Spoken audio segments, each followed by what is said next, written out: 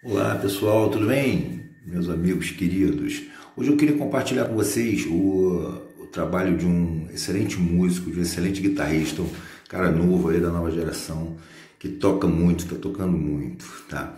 O nome dele é Rafael Maiolino e ele tá, pô, ele fez um solo para uma música do Lulu Santos, né? Que pô, tem a mesma poesia da letra, impressionante, muito lindo o solo. Bonito, bonito de se ouvir. Então vou dar esse presente para vocês aí hoje. Por favor, é, se puderem divulgar, é muito bom, é importante a gente divulgar os bons artistas, né? Pessoal que está tá indo pelo caminho certo, né? Produzindo belos trabalhos. É isso aí.